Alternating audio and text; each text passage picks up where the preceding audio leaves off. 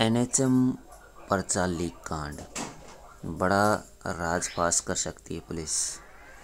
राष्ट्रीय स्वास्थ्य मिशन की संविधान स्टाफ नर्स भर्ती परीक्षा के पर्चा लीक कांड में पुलिस जल्द ही बड़ा राज पास कर सकती है।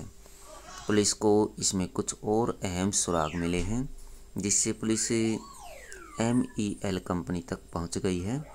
इसमें अभी तक आरोपित की गिरफ्तारी के लिए अलग अलग ठिकानों पर दबिश दी जा रही है।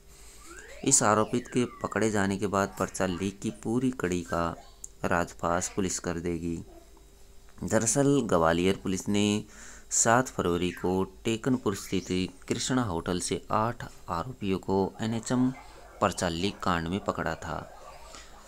आरोपियों के पकड़े जाने के बाद पुलिस कड़ी से कड़ी जोड़ते हुए सरगनाव तक पहुँच गई है। जब राजीव नयन मिश्रा और पुष्कर पांडे पकड़े गए तो पर्दाफाश हुआ कि पर्चा एम ई एल कंपनी से ही लीक हुआ था। यहाँ का एक कर्मचारी सरगनाओं के संपर्क में बताया गया है। कुछ संदेही पुलिस ने उठाए हैं, जिसमें पूछताछ में और अहम सुराग हाथ लगे हैं। इसके चलते पुलिस अधिकारियों का दावा कि जल्द इस मामले में बड़ा राजपास होगा।